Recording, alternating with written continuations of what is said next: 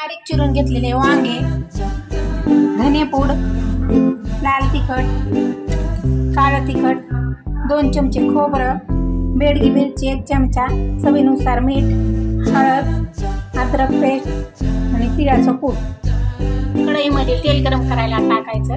तेल गरम करायला झाल्याच्यानंतर त्याच्यामध्ये मोहरी टाकायची. मोहरी चांगली तडतडू द्यायची.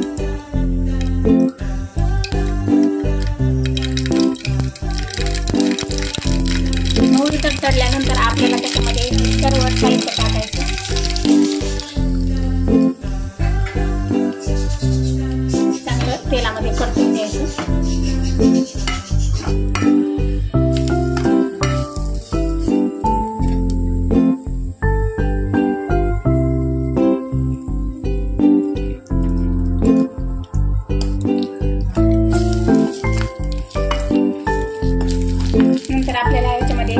वांगे टाकायचे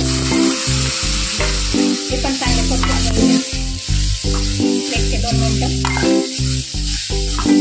एक ते दोन मिनटं परतून घेतल्याच्या नंतर त्याच्यामध्ये आपल्याला जेवढा रस्सा पाहिजे तेवढं पाणी टाकायचं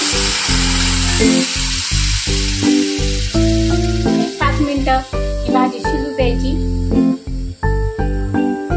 चांगली उकळी आल्यानंतर याच्यामध्ये आपल्याला कोथिंबीर टाकायची.